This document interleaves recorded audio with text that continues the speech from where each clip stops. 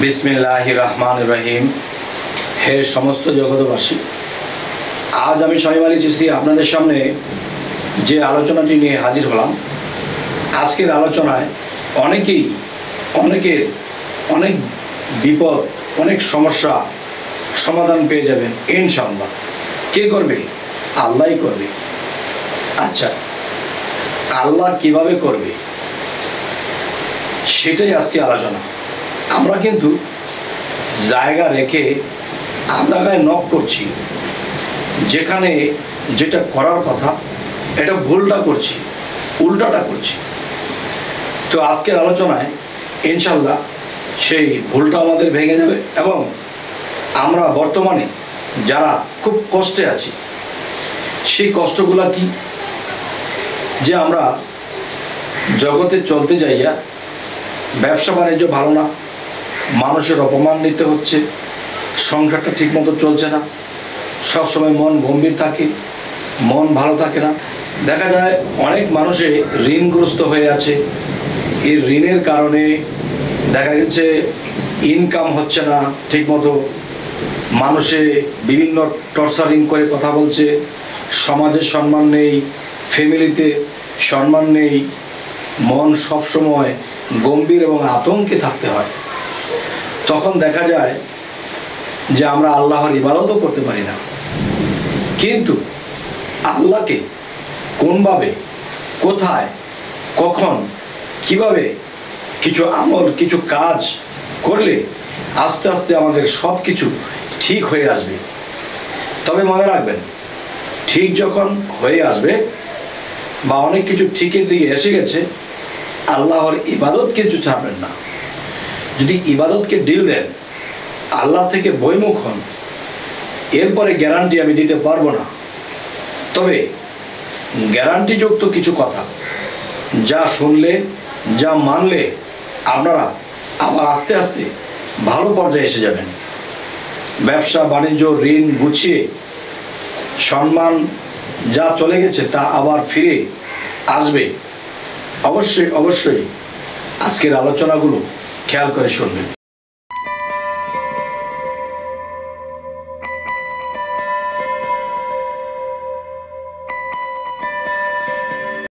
দেখুন, মানুষ কিন্তু আল্লাহর কাছে কিছু চায়।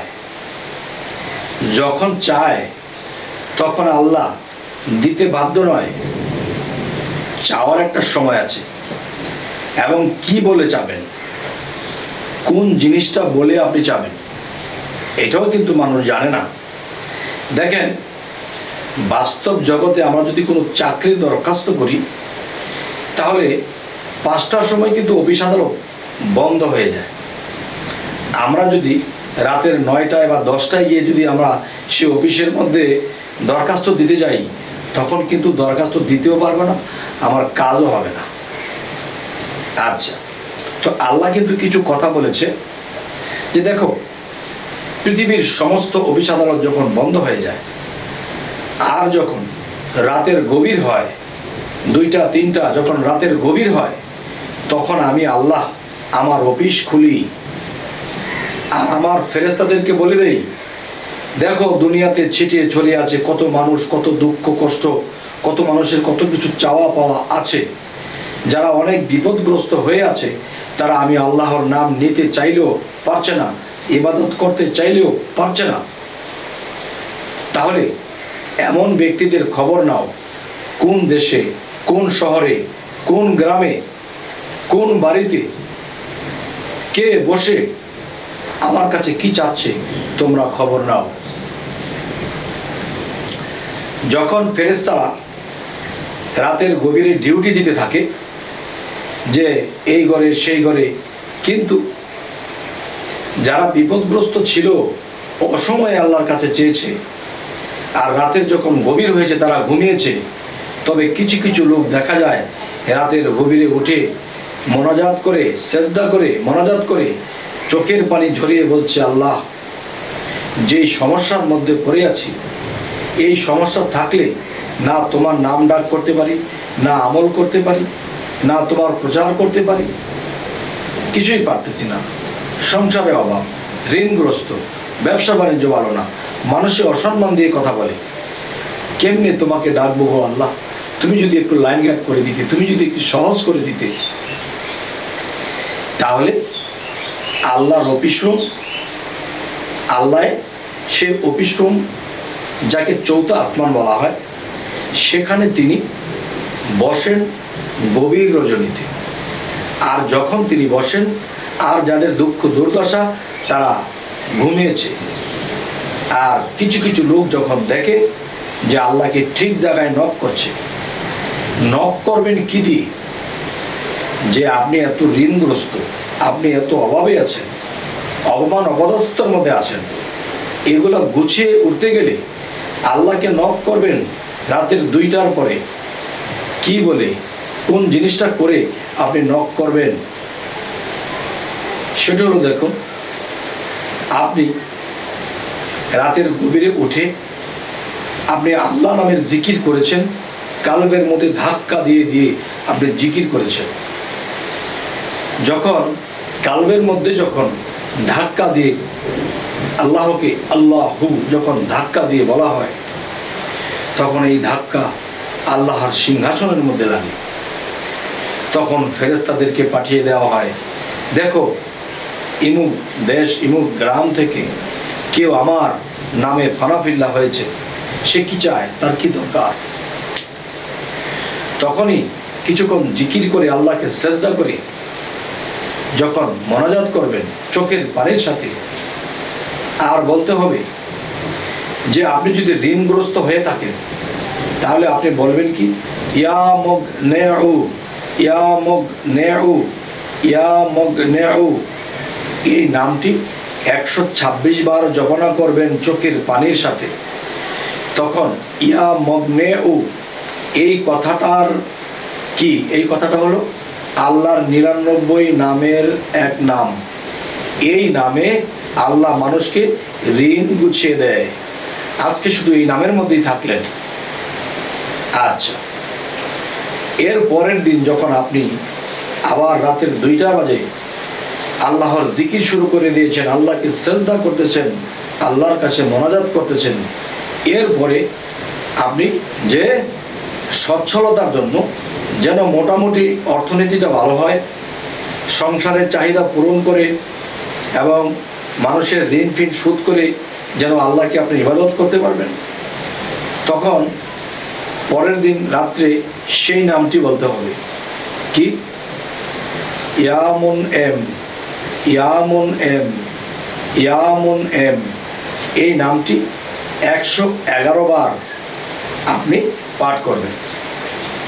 কারণ আল্লাহ নামে তো যে আল্লাহ তো সর্বময় বিরাজিত। কিন্তু দেখেন, যখন ইয়ামুন এম এই নামের গুণ ক্ষমতা এই নামের গুণ ক্ষমতা নিয়ে যখন ডাকা হবে, তখন আল্লাহর গুণবাচক একটি নাম ইয়ামুন এম।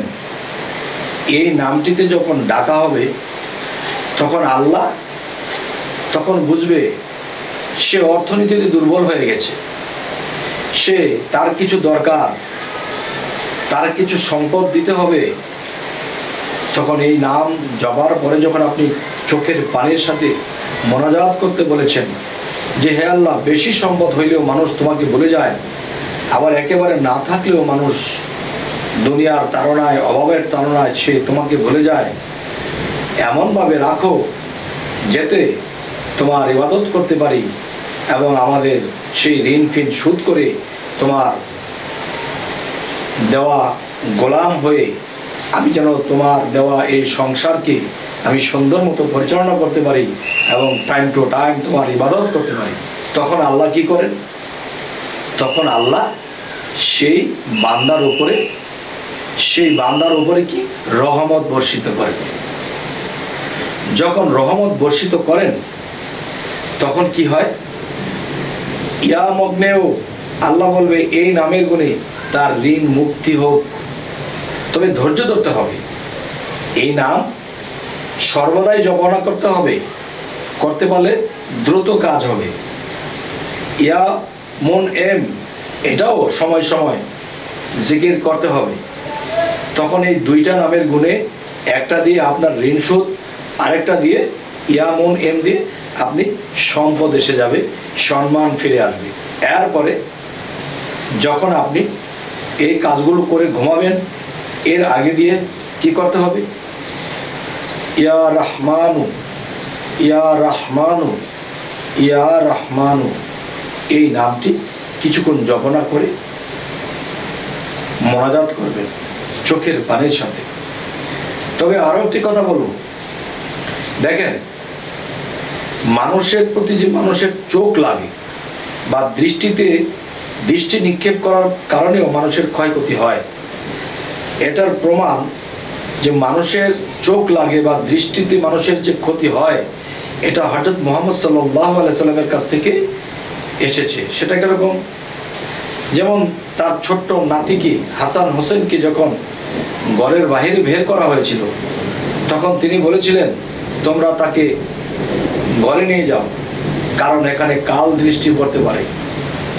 তাই আমি বলব, সেখানে যখন এরকম কিছু হয়েছিল, কাল দৃষ্টি পড়ার সম্ভাবনা থাকতে পারে তাহলে আমরাও কিন্তু সেই কাল দৃষ্টি থেকে আমাদের মুক্ত থাকতে হবে। আর সেই কাল দৃষ্টি থেকে মুক্ত থাকতে হলে আমাদের কি করতে হবে? আপনি যখন ঘুমাবেন রাত্রে, তখন সুরা ফাতেহা তিনবার, সুরা এক্লাস তিনবার, ফালাক একবার, নাস একবার বলে হাতে ফু দিয়ে এভাবে আপনি সারা শরীরটাকে মুছে দিবেন। যদি কাল দৃষ্টি বা আপনার প্রতি কারও ক্ষতির দৃষ্টি থাকে, তাহলে সেটা ছুটে যাবে। এবং সকালে ঘুম থেকে ওঠার সময়ও আপনারা এই কাজটি করে ফুক দিয়ে শরীরকে মোছা দিয়ে দেবেন। তাহলে আপনি সকাল থেকে সন্ধ্যা পর্যন্ত নিরাপদ। আবার যখন রাতে করবেন, রাত থেকে সকাল পর্যন্ত আপনি নিরাপদ। এই নিয়মে আপনি চলতে থাকেন। আর ধৈর্যশীল হন, আল্লাহর কাজ আস্তে আস্তে। এক সময় দেখবেন যে আপনার অভাব গুছিয়েছে, সম্মান ফিরে আসছে, সম্পদ হয়ে গেছে। কিন্তু আল্লাহর ইবাদত থেকে কখনো গাফেল হবেন না। তাহলে কি হবে? আপনি মিডিলে থাকবেন, আল্লাহর ইবাদত করবেন, আপনার সব কিছু ঠিক থাকবে, আল্লাহই ঠিক রাখবে সেই নামের গুণে। তবে আল্লাহ কি বলেছে? আমি যে নিরানব্বইটা নাম প্রকাশ করেছি, তোমরা সমস্যা হলে, তোমরা রহমত থেকে যদি তোমরা বিচ্ছিত থাকো, তাহলে ইয়া রহমানও তোমরা এই নাম তোমরা পাঠ করো। এবং অভাবগ্রস্ত হয়েছ, ইয়ামন এম, ঋণগ্রস্ত হয়েছ ইয়ামক নেউ, তোমরা টাইম টু টাইম করো। অবশ্যই অবশ্যই এই নামের গুণ থেকে তোমাদেরকে আমি কিছু দিয়ে থাকব। আলহামদুলিল্লাহ, আল্লাহ অনেক সুযোগ সুবিধা রেখেছে, কিন্তু সেই সুযোগ সুবিধা আমরা নেই না। তো এখন আমি শেষে যে কথাটি বলব, যে কোরআন পাঠ করতে হবে এবং কোরআনকে পাঠ করার পরে আরবিতে পড়েছি, কোরআন বুঝিনি। কোরআনকে বাংলাটা আমরা পড়লে আমরা পড়ে বুঝে নিতে হয়। আরেকটা হলো কোরআন নিজে কথা বলে, সেটা কোন কোরআন? আল্লাহ বলেছে কি, রোহে ইনসানিয়াতের কোরআন নিজে কথা বলে।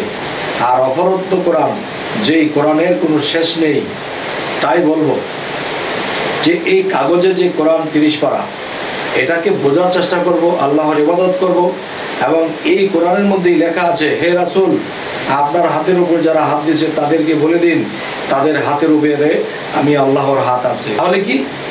আপনি খুব তাড়াতাড়ি জয়লাভ করবেন। যদি আল্লাহর কথা অনুসারে একজন কামেল মুর্শিদকে ধরেন, তাহলে মুর্শিদ কথাটা কি কোরআনে আছে? আছে। সুরা কাহাফের সতেরো নম্বর আয়তে। যে যারা আমার মুর্শিদকে এড়িয়ে চলল, মুর্শিদ, মুর্শিদকে ধরলো না, বুঝলো না, মানলো না, তারা পথভ্রষ্ট। তাহলে সেই পথভ্রষ্ট লোককে কি আল্লাহ দেখবে? তাহলে আমরা এই দিকেই লক্ষ্য করব। একজন কামেল মুর্শিদ, একজন কামেল আউলিয়া দেখে আমাদের বায়াত গ্রহণ করতে হবে। তখন দেখবেন আস্তে আস্তে আপনার জীবন সুন্দর হবে এবং আল্লাহর প্রেমে আপনার চোখ দিয়ে পানি জড়তে থাকবে। তখন আল্লাহ আপনার প্রতি মায়া সৃষ্টি হবে এবং আল্লাহর প্রতি আপনার প্রেমের সৃষ্টি হবে। তখন দুনিয়াতে আল্লাহর ইবাদতে রইলেন এবং মৃত্যুর পরেও সেই আল্লাহকে পেয়ে গেলেন। তবে হে সমস্ত জগতবাসী আজকের এই আলোচনাগুলো করার উদ্দেশ্য হলো, রোজার ঈদ এসে গেছে। এই তো আর কিছুদিন পরে রোজার ঈদ আসবে। তখন দেখা যায় কত ঘরে কত ছেলে মেয়ের আছে। তারা বলবে, মা, বাবা, আমাকে একটা সুন্দর জামা কিনে দিবে, আমাকে একটা প্যান্ট কিনে দিবে। কিন্তু এমন অভাবগ্রস্ত সংসার আছে, যা আমরা এটা কিনে দেওয়ার সমর্থ রাখি না। আল্লাহ তুমি যদি তৌফিক দাও, তাহলে পোলাপানকে কিছু কিনে দিতে পারবে। তবে আমি বলব, এই নিয়মগুলো করুন। আল্লাহ সুন্দর ঈদ কাটাবে। আনন্দের সাথে হবে। অভাব থাকবে না। অভাব কমে যাবে। তবে এটাও মনে রাখতে হবে, আপনার পাশের ঘরে যদি কোনো গরিব লোক থাকে, আপনার ছেলের জন্য, মেয়ের জন্য যদি দুইটা জামা কিনে থাকেন, আরও একটা জামা বেশি কিনবেন। ওই পাশের ঘরের ওই বাচ্চাটাকে দিবেন। যারা অভাবে আছে, তখন আল্লাহ খুশি হবে। আর আল্লাহ বলেছে যে, সুরা মাওনে দুর্ভোগ সেই নামাজকারী যারা এতিমের গলা ধাক্কা দেয়, তার মানে কি?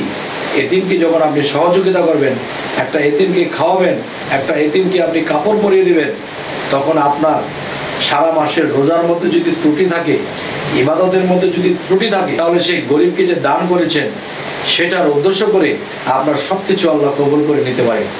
সুবাহ আল্লাহ আলহামদুলিল্লাহ। তবে হে সমস্ত জগতবাসী আজকের এই আলোচনা অবশ্যই মনে রাখবেন, এই নিয়মগুলো করুন, আবার স্বচ্ছলতা আবার সম্মান ফিরে আসবে। সকলে ভালো থাকবেন, আমাদের চ্যানেলটিকে অবশ্যই সাবস্ক্রাইব করে নেবেন। আল্লাহ হাফিজ।